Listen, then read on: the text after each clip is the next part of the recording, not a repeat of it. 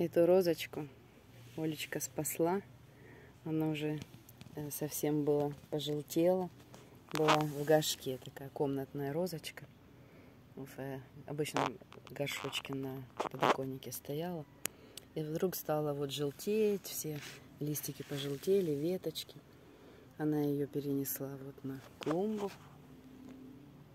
возле террасы. Вот сюда. И посадила постепенно э, сухие веточки. Отпали листики. И вот пошли новые побеги. Это вот все-все новенькое. Абсолютно. И потом она расцвела вот такой замечательно огромной розой. Если были такие розочки махонькие на самом растенице, вот том, которое было в горшке, мелкие розочки, ну такие как комнатные, то это такая большая, что вот даже ее э, вот, опирать надо по стволе, потому что опускаться настолько тяжелая. Это обыкновенно получается такая вот размером, как обычная садовая роза. Еще вон сколько бутончиков вверху. Просто ожила, ей так здесь понравилось. Красота. Гладиолус еще цветет. Остальные уже отцвели. И вот еще Оля посадила. Какие красивые. Петуниям здесь нравится.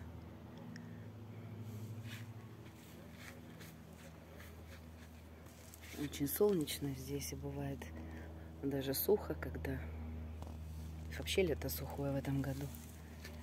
Хоть и полив, но яркое солнце и не очень много воды.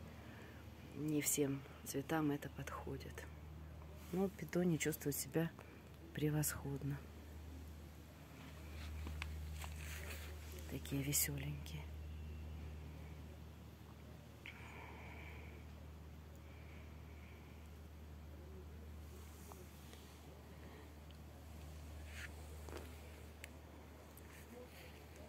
Ну,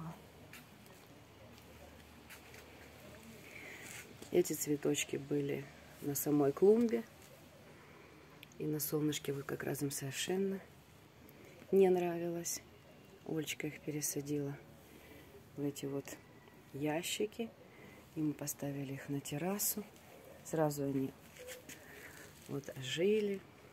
И вот эти все листики зеленые, красивые, свежие, это все новенькие на клумбе были совершенно они другого вида, такого мало цвели, были маленькие. Они, наверное, сейчас ну, раза в три выросли здесь. Вот в хорошей почве, в ящиках и не на ярком солнце. Влаги достаточно Они не очень любят яркое солнце.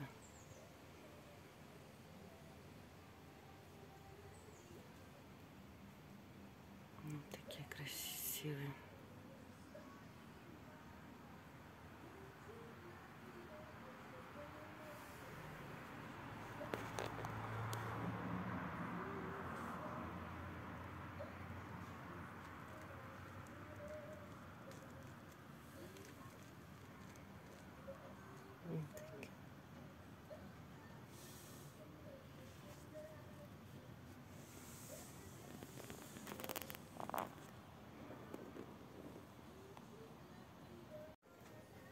Ну вот, от бегоний переходим плавно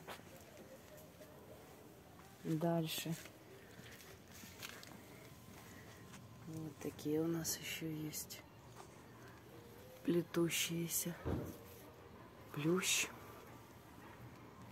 Веточки такие вот у него разрослись. Был махонький, потом вдруг пошел в рост. Это хлорофитум отводочек. Так. Пошел в рост быстро. Вот такие у нас еще есть цветочки.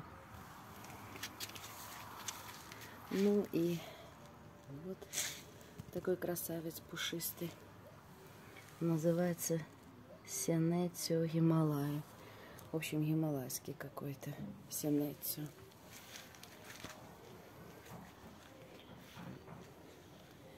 И вот такие у нас есть гераньки здесь.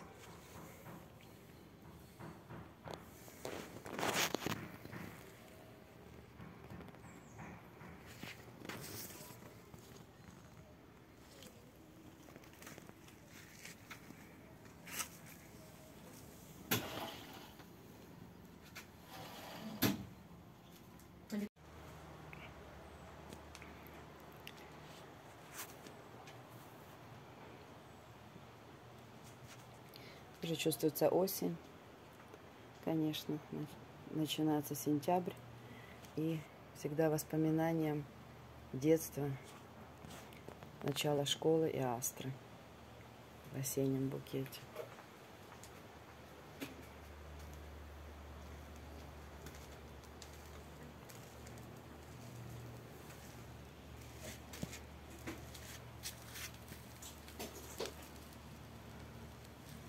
Вот тут Олечка выращивала зелень, петрушка, укроп.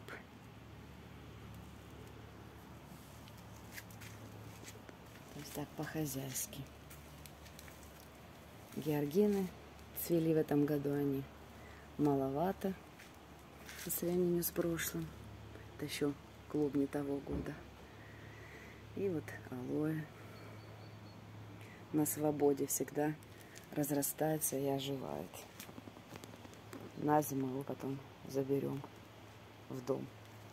Ну, почти что перезимовала эту зиму, но это было слишком для него. Даже чуточку подмерз. Больше не надо рисковать, заберем в дом. Это на свободе с окон переехавшие с патифилом.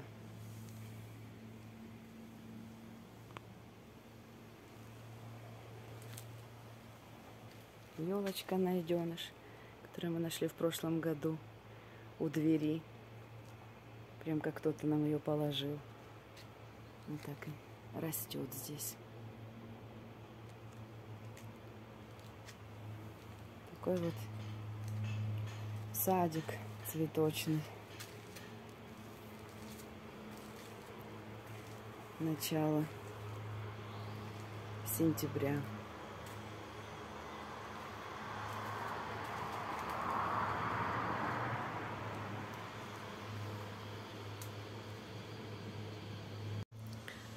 Вот еще вышла эту розочку. Снять она сзади террасы. Но она необычно каким-то образом решила распуститься ближе к осени. Уже весь этот куст розовый отцвел давно. А вот она одна распустилась, еще бутончики вот там. Каждому цветочку свое время. И не обязательно тогда, когда цветет все растение.